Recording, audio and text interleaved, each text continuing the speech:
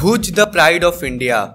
जी हाँ दोस्तों, अजय देवगन की film Bhuj the pride of India की शूटिंग स्टार्ट हो चुकी है।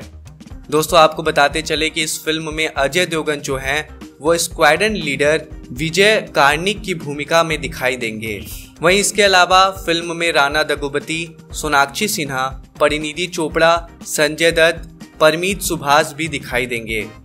वहीं इसके साथ साथ आपको बताते चले दोस्तों कि फ़िल्म 1971 भारत पाकिस्तान युद्ध के दौरान सच्ची घटना पर आधारित है। Bhuj the pride of India में अजय देवगन जो है, वो भारतीय वायुसेना के अधिकारी स्क्वाडन लीडर विजय कार्निक की भूमिका में दिखेंगे। वहीं आपको बताते चले कि उनके साथ ही साथ संजय दत्त आम नागरिक की भूमिका निभाएँगे, जो युद्ध के दौरान भारतीय वायुसेना की मदद करते हैं।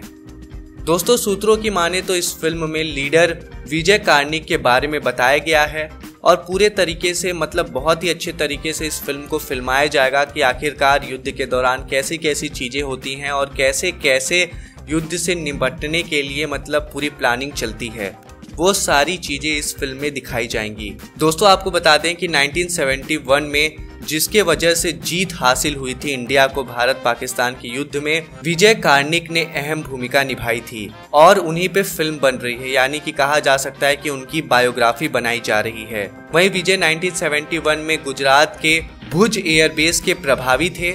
आपको बताते चले दोस्तों कि ये जो फ़िल्म है, इसको अभिषेक दुधिया डायरेक्ट कर रहे हैं। वहीं अगर फ़िल्म की बात करें तो ये फ़िल्म 14 अगस्त 2020 यानी कि 2020 में रिलीज़ की जाएगी।